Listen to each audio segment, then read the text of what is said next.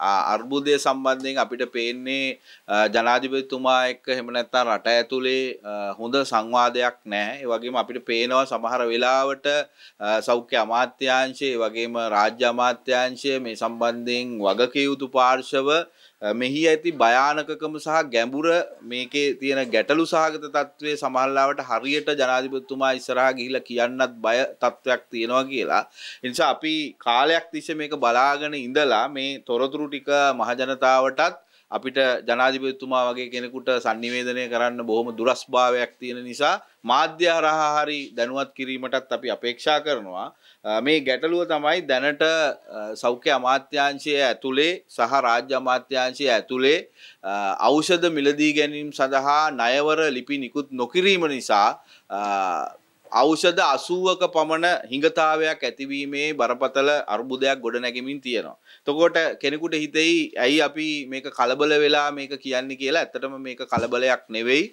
ඖෂධ මිලදී ගැනීම සඳහා ඇනවුම් කරන්නේ ඇත්තටම වසරකට කලින්. මේ වෙනකොට අපි මේ ණයවර ලිපි නිකුත් කිරීම කරන්නට ඕනේ පහුගිය අවුරුද්දේ අගෝස්තු සැප්තැම්බර් මාසවල. මොකද පහුගිය අවුරුද්දේ අගෝස්තු සැප්තැම්බර් මාසවල නිකුත් කරන ණයවර ලිපියකින් තමයි අපිට ජනවාරි මාසයට අවශ්‍ය ඖෂධ ලබා ගැනීමේ හැකියාව තියෙන්නේ. මොකද ඖෂධ ගෙන්වීමේ ක්‍රියාවලිය සඳහා මාස හතරක වගේ කාලයක් ගත වෙනවා. මේ සඳහා අපි විශාල ක්‍රියාවලියක නියැලෙන්නට ඕනේ. ඒ වගේම මේ ඖෂධ නිෂ්පාදනකරුවන් මේ ඖෂධ සඳහා අමුද්‍රව්‍ය කොරන්ටීන් කරන්න ඕනේ සති දෙක තුනක්.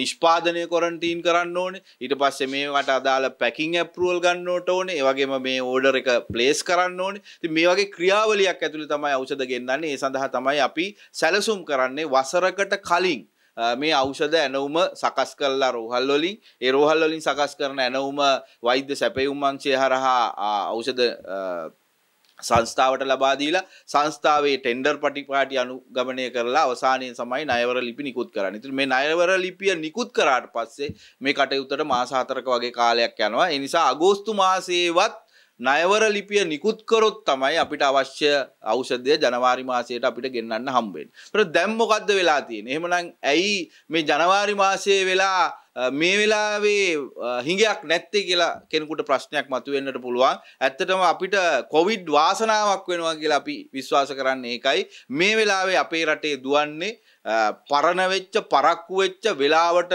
ඖෂධ ඇනුම් කරන්නේ නැතුව බරපතල ඖෂධ හිඟයක් ඇති වෙන්නට ඕන වෙලාවක් වුණත් අර කොවිඩ් වසංගතයේ කාල සීමාව ඇතුළත විශාල වශයෙන් ඖෂධ ඉතුරු වුණා විශේෂයෙන් කොවිඩ් නොවන රෝගීන් සඳහා නිවැරදි ප්‍රතිකාර ලබා ගැනීමේ අවස්ථාවක් තිබිච්ච නැති හින්දා ඒ අවුරුදු දෙක තුල ඉතුරු වෙච්ච ඖෂධ වලින් තමයි අපි මේ වෙලාවේ රටක් විදිහට මේ ඖෂධ ලබා දීම කරන්නේ. ඉතින් ඒ අනුව ඖෂධ 80ක් දැනටත් නියමිත ඇස්තමේන්තුවත් එක්ක ගත්තහම හිඟයි. නමුත් අර අතිරික්තය පාවිච්චි කරලා අපි මේ වෙලාවේ ඖෂධ සැපීම කරනවා. එතකොට මේ ඖෂධ ලබා ගැනීම සඳහා අගෝස්තු මාසයේ නිකුත් කරන්නට ඕනේ ණයවර ලිපි දැනටත් නිකුත් කරන්න නැතිවීම නිසා මං හිතන්නේ ණයවර ලිපි විතරක් 80ක වගේ ප්‍රමාණයක නිකුත් කිරීමට නියමිතව තියෙනවා. ඒක තව මාසයක් දෙකක් යනකොට ඒක 90ක් 96ක් 100ක් බවට පරිවර්තනය වීමේ හැකියාවක් තියෙනවා.